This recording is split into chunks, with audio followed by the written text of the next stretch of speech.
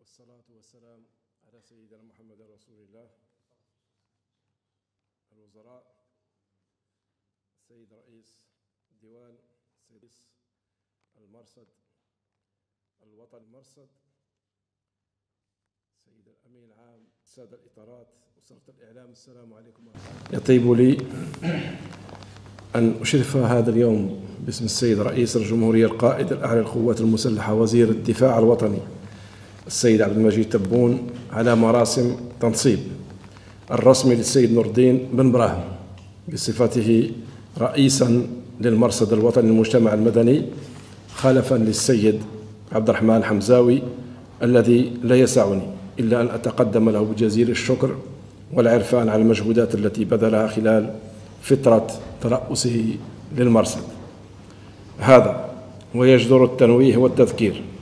بتوجيهات السيد رئيس الجمهورية التي وجهها بمناسبة تنصيب أعضاء هذه الهيئة الاستشارية الهامة إذ حثهم على ضرورة الاطلاع بمسؤولياتهم للمساهمة في ترقية المواطنة وتعزيز الممارسة الديمقراطية وكذا القيم الوطنية وذلك على المستويين المحلي والوطني.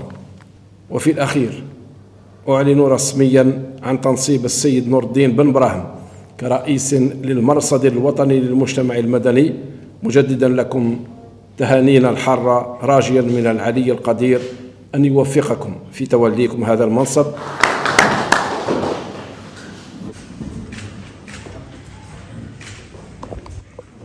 نشكر اولا السيد رئيس الجمهورية السيد عبد المجيد تبون على الثقة التي منحها في شخصي لترجمة الإهتمامات الكبرى لهذا التحول. الجديد في العملية الديمقراطية خاصة فيما يتعلق بإشراك الرأي العام وواسع الجمهور الجزائري من المواطنة الفعالة من خلال جمعيات المجتمع المدني وهذا يعتبر مكسب كبير جدا عززه الدستور الجزائري. ونحن اليوم أمام تحدي كبير جدا يتمثل في كيفية ربط بين هذه المفاهيم التي تعمل على ترقية الممارسة الديمقراطية في الجزائر وأيضا على إطلاق ديناميكيات التنوع الكبير اللي راه موجود في المجتمع المدني الجزائري.